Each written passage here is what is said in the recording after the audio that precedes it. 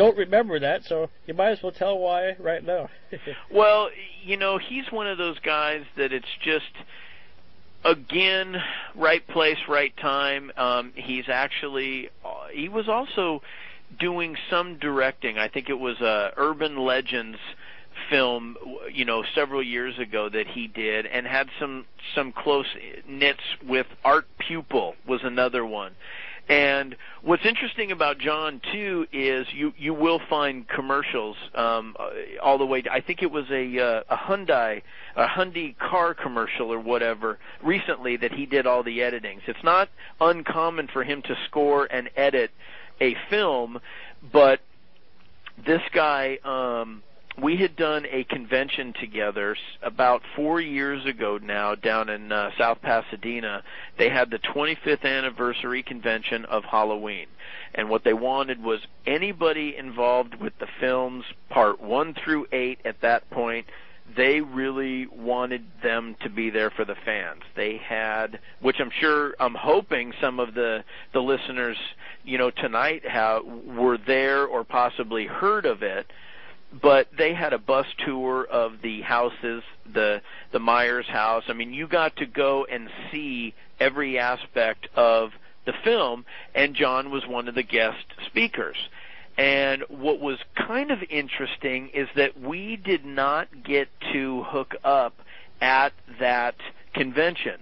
I went down to see his panel um, he did a discussion panel. Afterwards, he was gone. By the time I tried to track him down, they had let me know that he had already left because he was fighting with a major bad back situation. Yeah. And here I am thinking, okay, the reason he was there was um let's see, I can't remember 19 oh, it was 98. He's the one he did score Halloween H2O. Okay. And because that one was that 20 years later, we're going back. We haven't had a sequel that brings back Laurie and all this stuff. That one was a big deal, and he got the job. So I really wanted to talk to this guy and pick his brain and give him my demo and have him give me, you know, the ever popular talk, son. I think you should become a plumber. You know, this really isn't in line for you. And so luckily, I decided I would locate him through his um, website, and I took a chance and email him. And my whole attitude, my whole life with the entertainment business is, you know, you never, you never know unless you try, and oh, heck it, yeah. you, you're never going to be told no more than once. You hope. Sometimes And- twice, but you know, whatever works. Well, yeah. I mean, all they can tell you is no. But if they say yes, then there's another story. So I had emailed John and I explained to him that you know we were both down there and that I didn't have a chance to talk to him. If he had the chance to, would he be willing to communicate with me? I didn't even care how. I just had a couple of questions I'd like to ask him.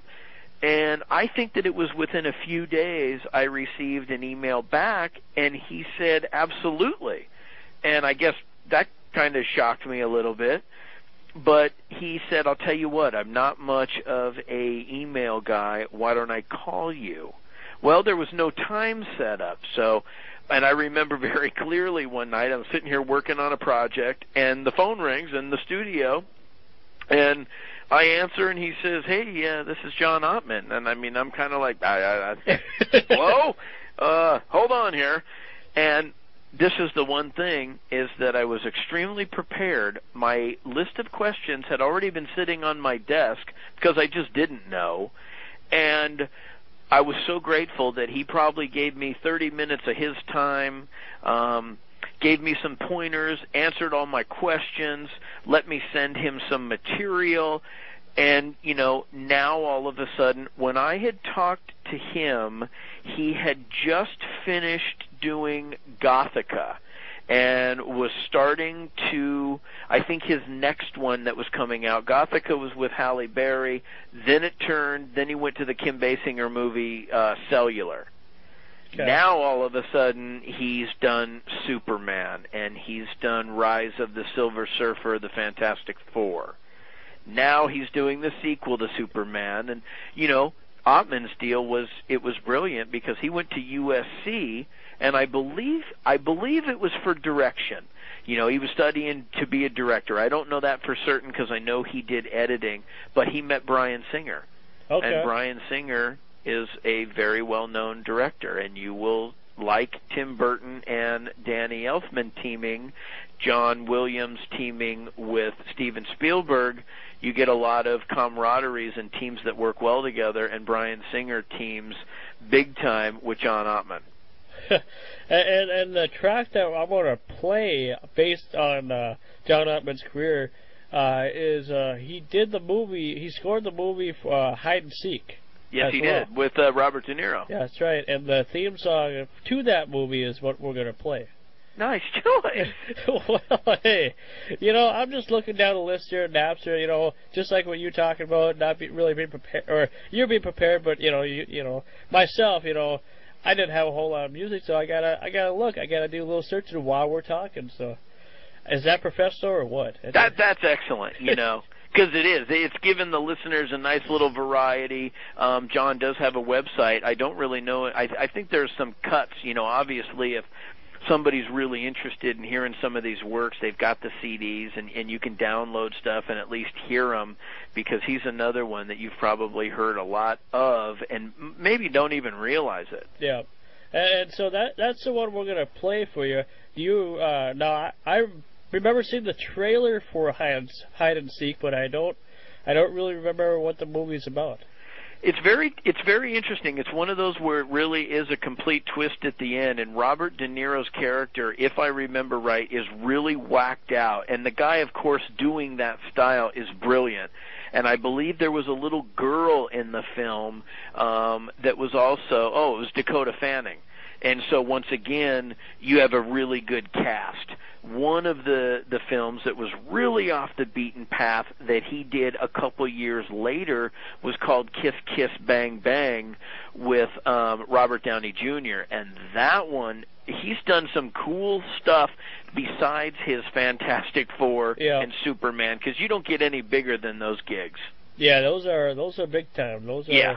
I tell you, it's just like wow, just like you just want to say like what Ray Romano said in the uh, not everybody loves Raymond, but what he would say in, uh, in uh, a skit from Saturday Night Live, you know, you just want to say sweet sassy molasses. And yes, you do. Or you know, you could always utter the famous words of Frank Malone, which is just always "Holy crap!" Holy crap! or or Robert, you know, it never ends for Raymond. Yeah.